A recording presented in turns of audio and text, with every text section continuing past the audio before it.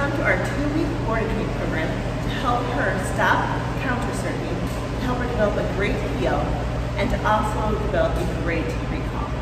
Let's see what Scout can do with her owners the very first day of board training. train. Scout, place.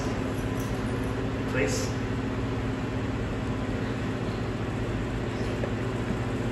Place.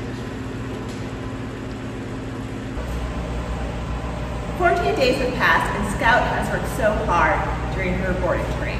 She has a great heel now. She will come when called and she's learning to stop jumping on counters. Let's see what Scout can do now after these 14 days.